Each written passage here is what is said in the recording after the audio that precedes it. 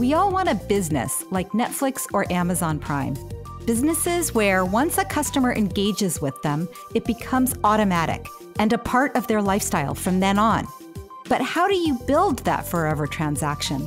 I'm Robbie Kellman Baxter, and I have been studying subscription and membership models for nearly 20 years.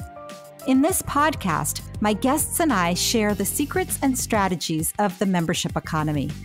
Join us for subscription stories, true tales from the trenches. Much has been written about the so called streaming wars. The market for streaming video content is crowded with players, each with unique strengths. From Netflix's digital native early adopter status to the platform power of Apple and Amazon to the highly specific and valuable content of niche players like Crunchyroll or the History Channel, whom we recently profiled on this show. Anyone interested in subscription models can learn a lot from understanding the diverging strategies of streaming players, many of whom number among the most powerful companies in the world. Today's guest, Molly O'Connor, leads business planning and strategy for Warner Media Sales and Distribution across HBO Max, Cinemax, and Turner Networks for all U.S. distribution partners. That means she's responsible for managing the sometimes competing demands of the consumers, cable and satellite partners, and the app stores, weaving these disparate products and partners into a single cohesive strategy. In our conversation, we discuss how to think about balancing direct and indirect channels, how a subscription offering can achieve strategic and or financial objectives, and the nerdy world of subscription math.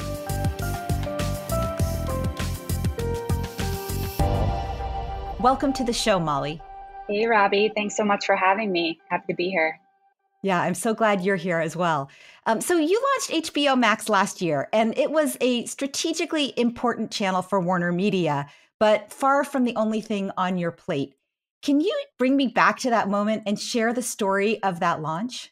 Yeah, absolutely. So, I think, and, and I know we've sort of talked about this before, but it's interesting in the streaming space with all the different service launches because every company is really starting from a different place.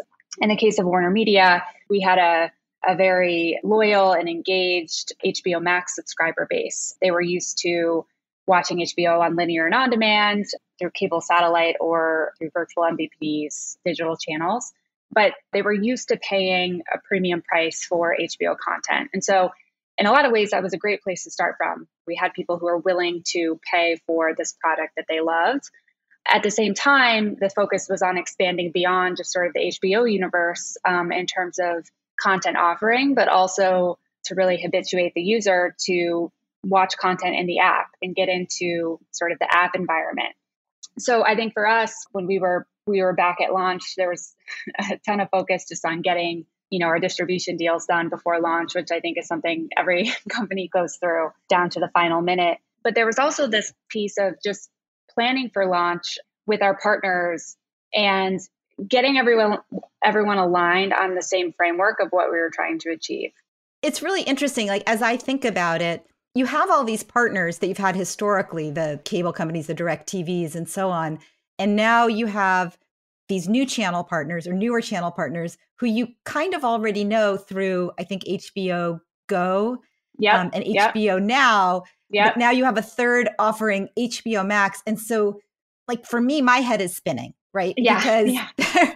there's all these different ways that you can access the same excellent HBO content. Yep. There's a lot of people who want to be the primary way that you get access to your HBO content. Yep. And you're kind of, I think, like Molly in the middle, right? Yeah. Trying to, first of all, figure out for yourself and for the organization how do we think about these partners and how do we accommodate their concerns, right? Because they're yep. concerned that they're you're kind of bypassing them with a direct subscription.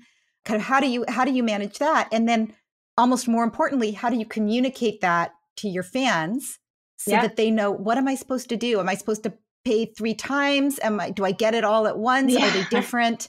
So you kind of have this communications challenge to your consumer audience, and you have this both st- strategic and communications challenge with all of these partners who I would imagine were very nervous because it's kind of like mm-hmm. musical chairs and the the music goes on again and then it stops and everybody's sort of scrambling to say well who who has the relationship with the customer and do i still have an important role Yeah, totally. I was, I mean, just personally was pleasantly surprised. I think everyone within the space, whether it's a app store partner or cable satellite uh, distributor, everyone sort of sees and knows that, you know, obviously customers are streaming more and more as their method of consuming content. And I think a lot of our our bigger our bigger MVPD partners, I mean, they have their own their own strategies for kind of leaning into that that trend and and setting themselves up for success, whether that be focusing on broadband, knowing that video packages are trending a certain way but people are always going to need internet. And like how do you how do you set yourself up for success to provide consumers with the content that they're looking for but still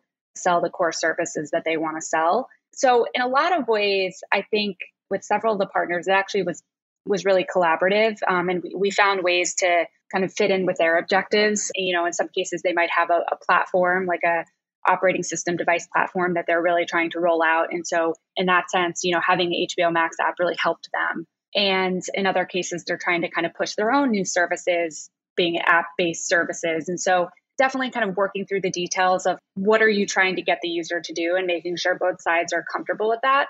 But so far, it's gone well across the board. I think for customers, as I mentioned before, awareness was a big piece of this. And there was about a month post launch where, frankly, for logistical and other reasons, we did still have, you know, HBO Now, HBO Go, and HBO Max in the market. And can you just explain what those three are? Why you have three? yes. So we know the good news is we no longer have three. We just have HBO Max. We did for a time have the three, and that was really, I, I think, frankly, that was just more about it, it takes time when you have legacy products that multiple different consumers use and different partners are sort of integrated with it just takes a bit of time i think sometimes to kind of wind down those products and and switch over to the new one from sort of a, a logistical perspective and also just getting certain distribution deals done can hold that process up as well. Hbo go just for you know listeners who aren't as familiar hbo go is the or was the companion app for hbo on cable and satellite providers. So if you have hbo on comcast you could use your Comcast credentials to log into HBO Go, and all the HBO content was there. HBO Now was our OTT subscription product. So, you know, you could just subscribe to that directly and have all the HBO content. HBO Max was coming in saying there's all the HBO content that you love, all of it's in HBO Max, but then there's so much more content from the Warner Media family, Warner Brothers studios uh, and networks, so the theatrical studio and, and Warner Brothers TV, a lot of the kind of Turner content and, and properties, new Max originals. So, you know, HBO Max has acted as both a place to watch your HBO content digitally, similar to how HBO Go did, but it's so much more than that because there's so much extra content that's only available in the app. So, you know, ultimately wanted to whittle it down to that one app. And it took a little bit of time, but we got there. Um, and I think uh, spent a lot of time on marketing and helping explain to customers what this product was, how it was different, why they should use it. And the fact that, to your point, they didn't need to spend anything else to get it. by being an HBO subscriber, they already had access to it. It's such a good story, I think, and really instructive for for listeners. I think how you kind of journeyed from okay, most of our customers are going through a third party. We're making the app as a companion, then creating something that says, but if you don't have one of those services and you just want HBO, we have an app for that and then saying no this is actually part of our cohesive integrated strategy. Right. we're going to give you access to all of you know many of our properties a lot of content and we're going to give it to you in whatever way you want. Right. It's a lot of it is about your journey of experimentation with direct to consumer totally. and with having an app. So that's really fascinating and it is messy uh, yeah. on your way there. So it's it's interesting in the kind of the way that you have brought your consumers along one of the questions that comes up, and I, I actually asked Piper Rosenshine, who was a guest last season from A&E Networks and the History Channel, is when you look at the direct to consumer behavior, what have you learned about your fans that maybe you maybe you hypothesized but didn't know? Was there anything new that you learned when you when you started getting all of this rich data? One of the things that was interesting that we've sort of learned is that there's a lot of talk about how does you know a customer viewing in one channel sort of affect another channel one of the things i think we've discovered through this process is that customers are comfortable watching where they're watching for for the time being and you know, as long as you make yourself available in all of those places, that's what's really crucial in terms of driving engagement. And they, there's not necessarily as much of a cannibalistic effect as I think people think, right? You know, people always talk about the tension between, you know, theatrical windows versus streaming windows. And I, I think what we've seen, especially with like, you know, Godzilla versus Kong, is that it had a, a, a, monster, you know, monster performance at the no, yeah, no pun intended, um, at the box office, but did unbelievably well for us in terms of HBO Max subscription and viewership as well. And so no one really knows the answer on what true cannibalization looks like across channels. But I, I think the story's better than probably what you see written about. Um, I think customers really just want to view where they want to view. And if it's available in all those places, all boats rise. Yeah, it's so interesting because I feel like this is one of the really big concerns that organizations have, not just in the streaming world, but in news, in education, right? If we have online mm-hmm. courses, people will stop going to our universities, all of those kinds of questions. And it over and over again, what what I see is it deepens the relationship. Like it, it's surprising, yeah. but people have the content that they value, whether that's entertainment or professional or educational, the content that they value, they want it, like you said, where they want it, wherever they are. Yeah and if they want it, they want it accessible. It actually deepens the relationship. And so yeah. it's not a zero sum game. And I think that's been a big surprise for a lot of organizations. Yeah, a hundred percent. I mean, I, and I think that's where kind of going back to the, you know, the HBO Go, HBO Now, HBO Max conversation, that is, I think, one of the differences for us versus certain other companies that came from sort of a different place in the in the streaming world. Some of them started from scratch, whereas we were obviously kind of a bigger legacy company and this massive ship that you have to turn in another direction. Yeah. And because of that, there are challenges because you you do see that there's a, a certain degree of customer inertia, not in a bad way, but people are used to consuming how they're used to consuming, and that's what they want um, until they don't. And so, if you try to force streaming on people who don't necessarily want it in that way. Like that's not good either from a customer experience standpoint. So I think just being everywhere and, and having one cohesive strategy, which is like, you know, HBO Max, but acknowledging that you still want to make sure you're playing to customers' desires in terms of where they want to view. I was just trying to think. I, I, know until recently, I'm not sure if they still do, but Netflix was still doing three DVDs out at a time. Right? I know it's. I love seeing that like the DVD business is still hanging on. it's awesome. Yeah, well, because it's interesting. Because your point about habits, you know, you started our conversation by talking about how a primary goal of your work is to build habits with your consumers around accessing your content through through an app. Yeah. And the challenge of having people that have habits already is that they don't have a lot of incentive to change. Right. The right. people who are usually most receptive to a new way of doing things are people who haven't established that habit yet. Yes, totally. And so I wonder do you think about kind of your your core audience, your longtime fans versus tomorrow's fans? The mm-hmm. people who are now just now starting to decide, you know, how am I going to, what is my system for accessing entertainment?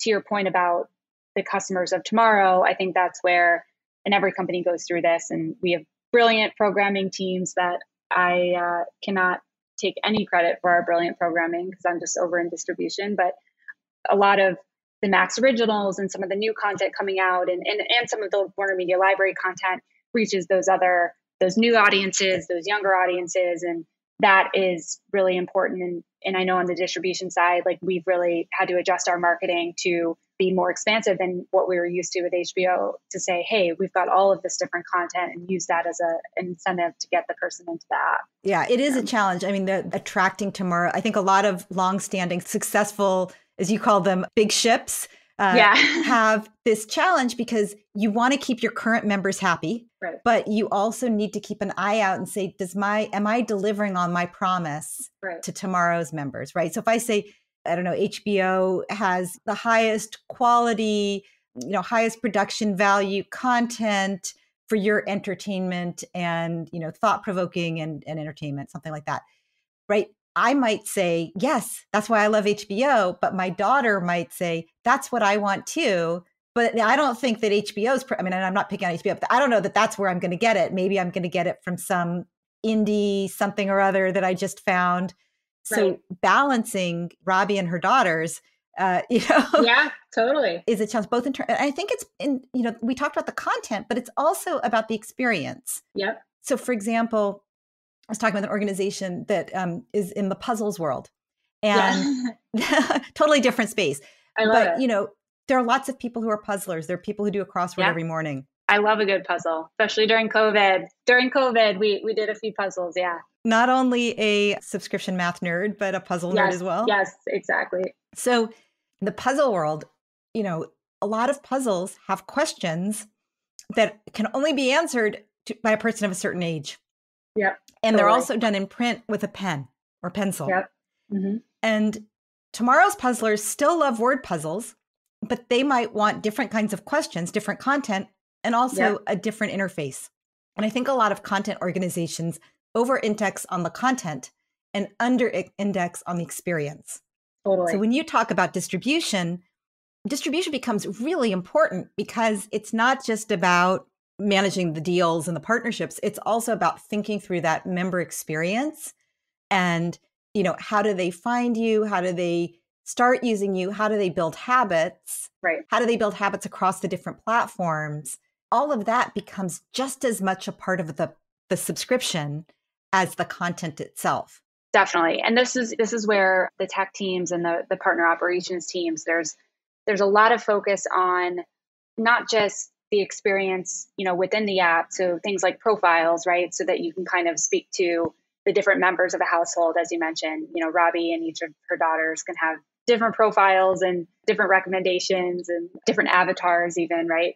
But there's also this this aspect of integrating with the platform that you're on as well, right? So to your point, like where someone's accessing is really important. And, and with our distribution partners, you know, think of like app stores in particular with their mobile devices, tablets, connected TV devices, smart TVs figuring out and, and putting resources towards integrating with those platforms is good not just from a partner relationship standpoint you know because they have their priorities and objectives but it also helps with things like content discovery and and i you know i personally feel that the critical decision making point for a customer when it comes to what they're going to watch is at the device level right every time you want to watch something there's one step that has to happen no matter what. And it's that you have to turn on your device that you're going to watch on. And on that device or operating system platform, you're you're going to see marketing and merchandising. Sometimes it'll be paid, sometimes it'll be editorial, you know, editorially curated by the partner. Sometimes it'll be algorithmic.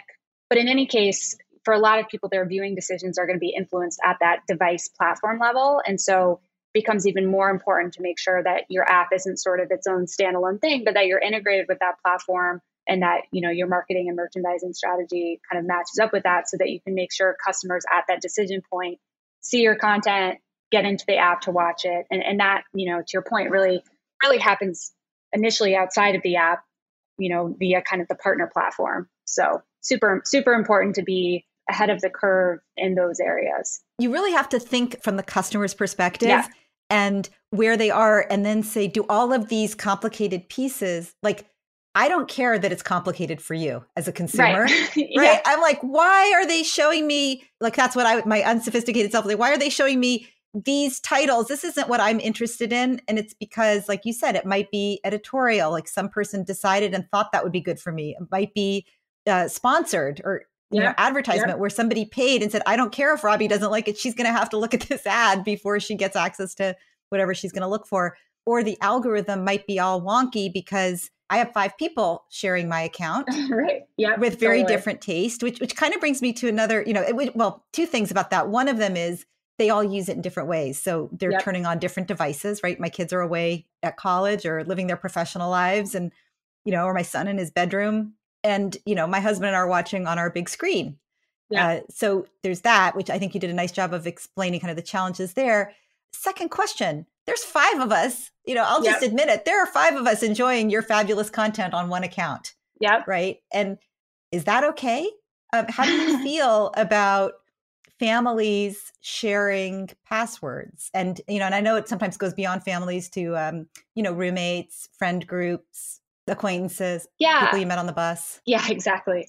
Well so i i think the the profiles aspect of not just our app but you look at a lot of the services in the spaces is is really complementary to having a household with multiple people and acknowledging like i don't think i don't think anyone in the industry expects that members of the same household, even if they're not necessarily always together, are sort of each have their own individual subscription. Yeah, it's like there's two parts of this. There's the logistically, how do you do it? Which I think mm-hmm. Netflix mm-hmm. is coming up with some interesting, you know, sort of location, you know, geolocation yep. and yep. Preference algorithms. Like, would you really be watching this? You know, so that's the how. But then before that, even there's the the why or what is your po- policy? And something I noticed with a lot of new kinds of ways of interacting early on the organizations are pretty lax with uh, you know shared passwords and i i sort of wondered if that was about building habits and establishing footprints like let everybody have it so that they they start using our product in this way and at some mm-hmm. point in the future they'll subscribe whether that's you know my kids establish their own households and they say you know this is ridiculous right. and i'm using my parents account or whether it's like you know the netflix is shutting the door on yeah. multiple streaming events concurrently or location based yeah I, i'm sure every company probably thinks about it a little bit differently and I, I do think that there are to your point there are benefits to creating that loyalty and consumption of content and people sort of getting familiar with the content i think that's partially why a lot of service services kind of in their earlier years, even up till quite recently, and our, ourselves included, had free trials. And now you've seen in the space that there's been a shift away from free trials. And I think part of that, right, was to help consumers discover and start to consume that content and become fans. So I think there's certainly a little bit of, you know, a benefit there. I, I think part of it too is it's, I think this gets lost in the conversation sometimes, but streaming now is you know looked at as such a standard right but we've gotten to this place in a very short number of years and the technology and and development behind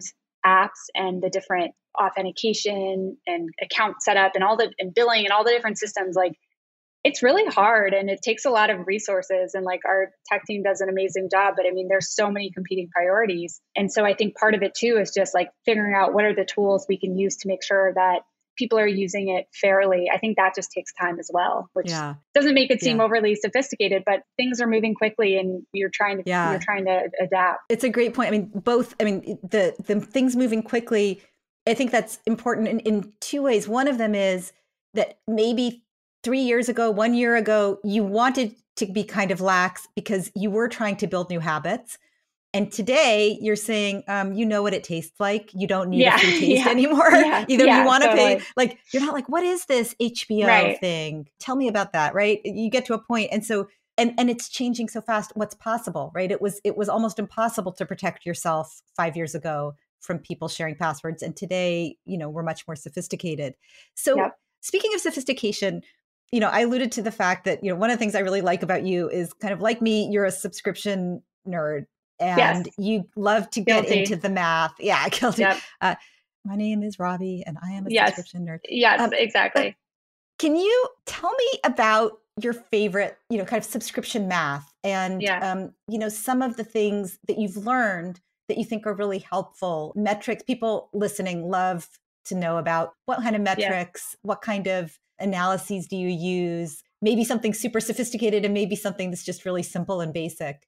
Yeah, no, I, I love subscription math, and my team would be laughing at me right now because they, they know how much of a nerd I am about it. Uh, like one of the reasons I call it subscription math is that I find that when people come to work in subscription for the first time, it is so different from more transactional businesses in terms of how you think about it. So one example would be like, and I'll kind of put into two different categories. There's sort of the finance, like budgeting and forecasting element of subscription, and then there's more of the analytical aspect of subscription that drives strategic decision making um, and they're and they're kind of separate or, or not separate but they're distinct with like budgeting and forecasting i think one of the things that even with members of my own team when they started was sort of new is that with the transactional business your sales, your units, they kind of fall within discrete time periods and there's there's not necessarily a direct effect on the next time period, right? So if you do a certain number of sales in this month, you can start again from zero in the next month, right? Or year, or whatever it might be. With subscription, it's a con- one continuous sort of stream, right? So if I end my year with a higher number of paid subscribers, that means I'm also starting next year with a higher number or a lower number. Um, if I pull my subscribers, if I get to certain level of subscribers earlier in the year, that means from a fiscal year standpoint, I'm getting more months of subscription revenue because I reached that mark earlier in the year versus at the end of the year. So I think there's a lot of dependencies with subscription math and you don't just reset at zero, you know, each new each new period. Yeah. And I think that's really sort of a, you know, an interesting piece for people and and then can also be complicated. Obviously everyone's familiar, I think, or most are familiar who work in subscription with, you know, acquisition retention, but you have a free trial, there's free trial conversion. There's many different ways of calculating churn. Like I, have I've gone on deep dives on the internet and sort of, you know, arguing with people on Twitter about different ways to calculate churn. So getting really nerdy. But I think it's just a, a different but very interesting way to think about the business. It isn't truly an ongoing relationship with the customer. Then there's this strategic decision making, which looks at things a little bit differently from finance, right? Which looks at things kind of on a discrete time period basis from an analytical standpoint, it's more about, well, what is the lifetime value of the customer? How many months are they going to be with us on average? If we bring someone in, how much are we willing to pay in marketing to bring that person in?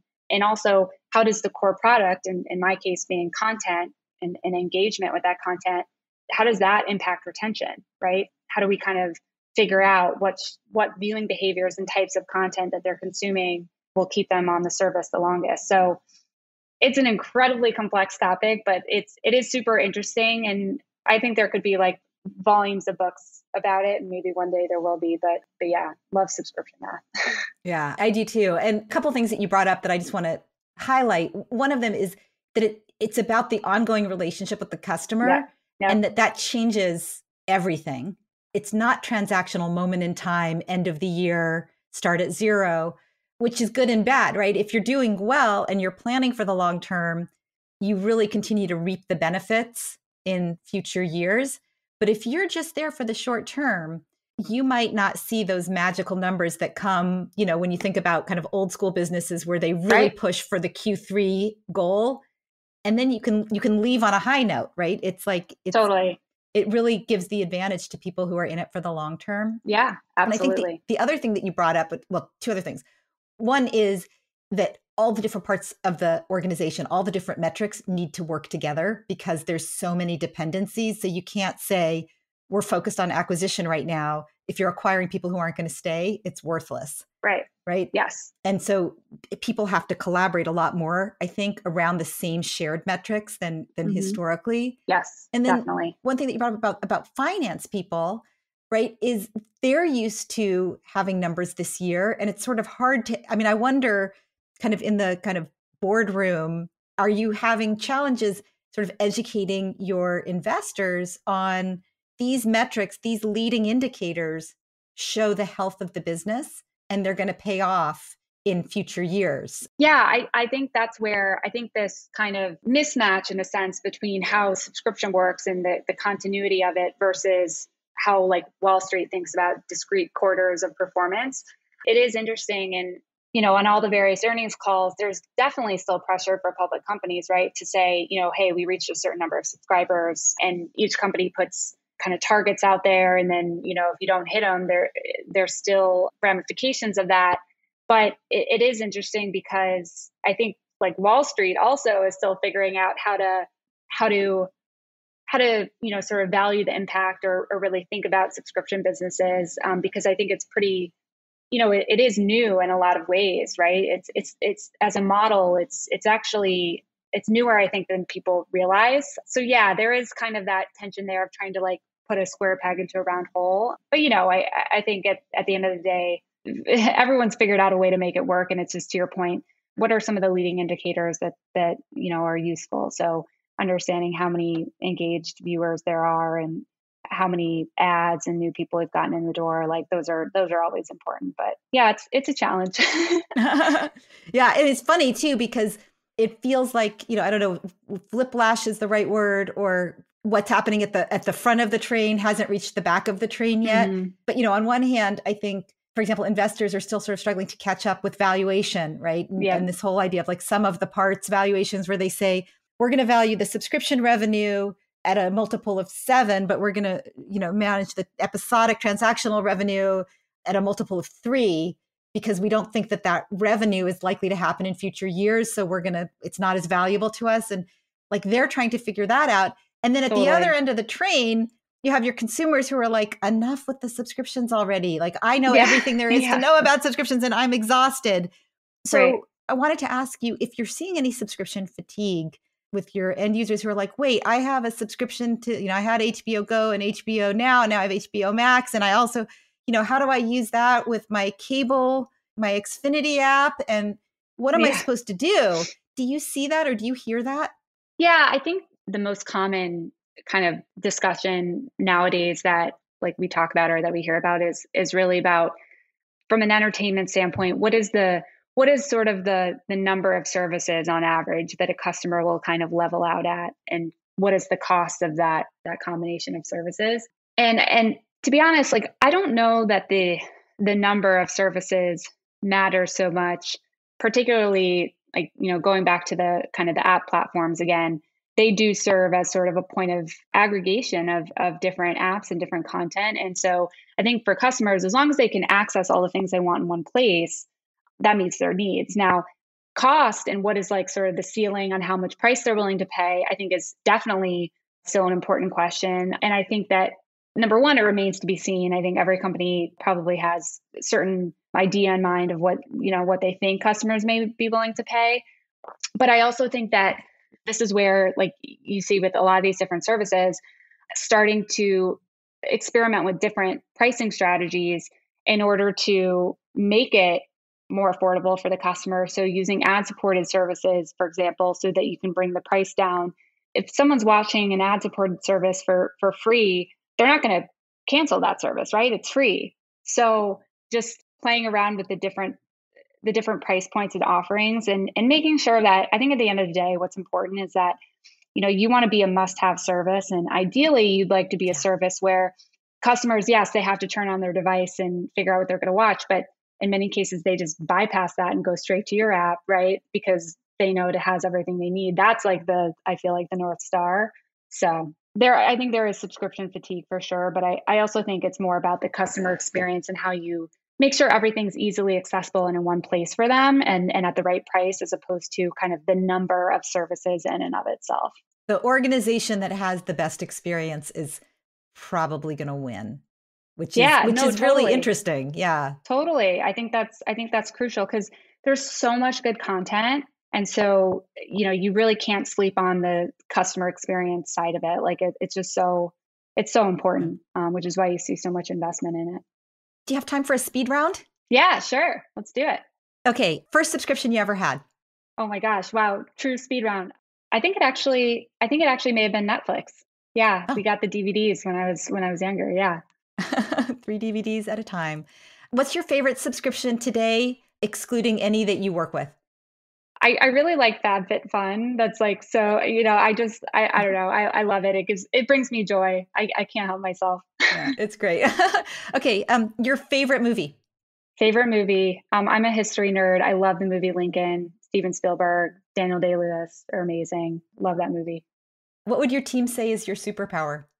Um, I think they would say that I know how to take complicated topics and like understand them in such a way that I can explain them in super clear language. Like they say, you know, explain it to a kindergartner. Um, I think that's my superpower, I'd say. and um, a time when you felt like a member, like you belonged. I do think, and I, I know you just recently did this podcast with your friend from Nike, but I do think Nike does a great job of this. They do make me feel like a member, and I've ended up buying more from them and kind of participating more in, in sort of their membership, so to speak. I think they do a really nice job. And last question advice for people listening who are trying to build a, a direct relationship with their customer in a complex world? Yeah, I, I think just uh, at the end of the day, like you really have to think about things from the customer standpoint. The beauty of that is that we're all customers, we're all consumers. So think about I obviously come from the entertainment lens, but like when you turn on your TV, like what are the most basic steps you're going through, right?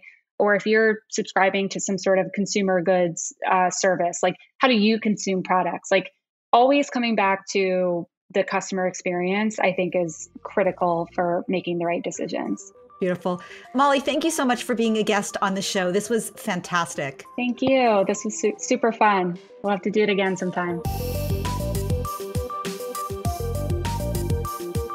That was Warner Media's Molly O'Connor.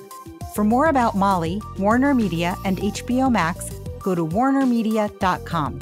And for more about subscription stories, as well as a transcript of my conversation with Molly, go to robbiekellmanbaxter.com slash podcast. Also, if you like what you heard, please go over to Apple Podcasts or Apple iTunes and leave a review. Mention this episode if you especially enjoyed it. We read all the reviews because we want your feedback. Thank you for your support, and thanks for listening to Subscription Stories.